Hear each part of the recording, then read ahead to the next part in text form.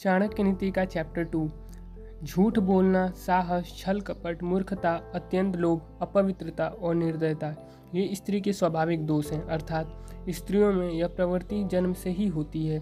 वे अपने दुस्साहस में कोई भी ऐसा काम कर सकती हैं जिस पर भरोसा नहीं किया जा सकता।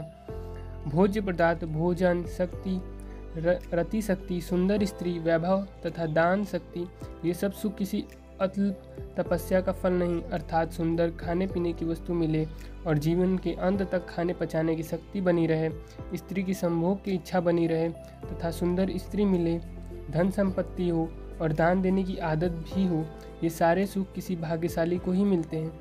पूर्व जन्म में जो अखंड अखंड तपस्या किया होता है, वही सौभाग्यशाली होता है।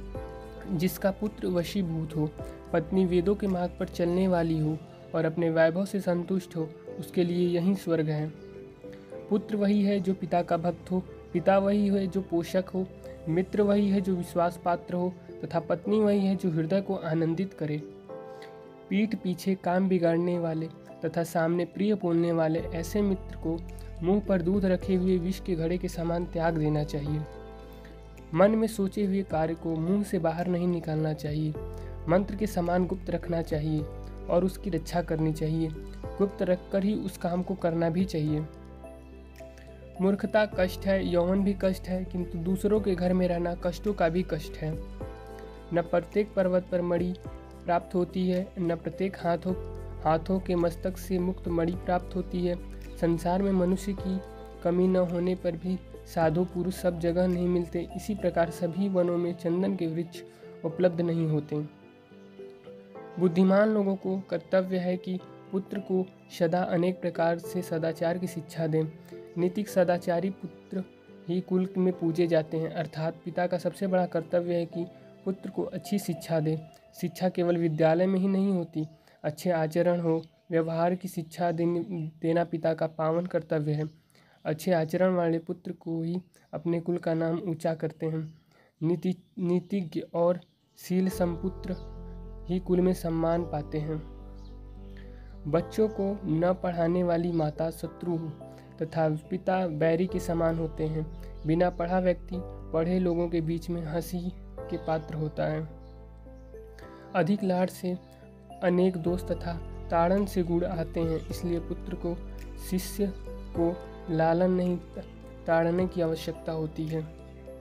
व्यक्ति की चाहिए कि वह किसी एक श्लोक या आधे या उससे भी आधे अथवा एक अक्षर का ही यह सही मनन करे। मनन यानी अध्ययन, दान आदि कार्य करते हुए दिन की सार्थक करना चाहिए।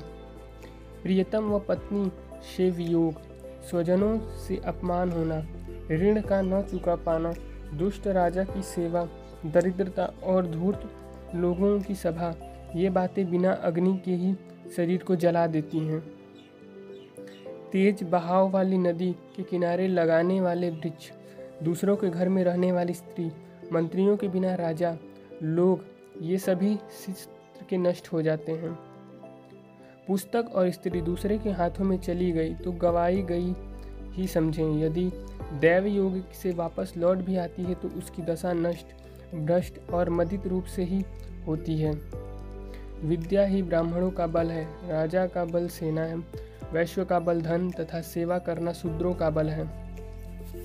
यह प्रकृति का नियम है कि पुरुष के निर्धन हो जाने पर वेश्य उस पुरुष को त्याग देती है प्रजा शक्तिहीन राजा को और पक्षी फलहीन वृक्ष को त्याग देते हैं। इसी प्रकार भोजन कर लेने पर अतिथि घर को छोड़ देता है।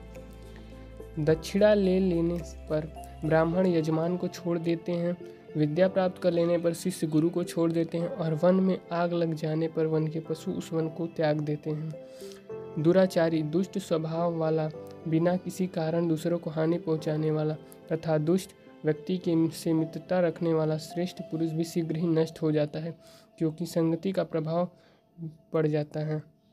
समान स्तर वालों से ही मृतता शोभा देती है।